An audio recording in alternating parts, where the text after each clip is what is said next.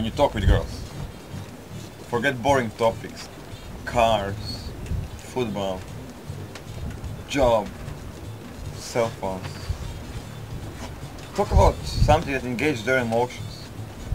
Talk about something that's gonna make them feel like holidays, sports, hobbies. Talk about what excites them, what scares them.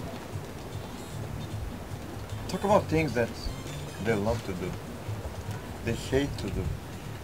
Because remember, the crucial thing is what they feel.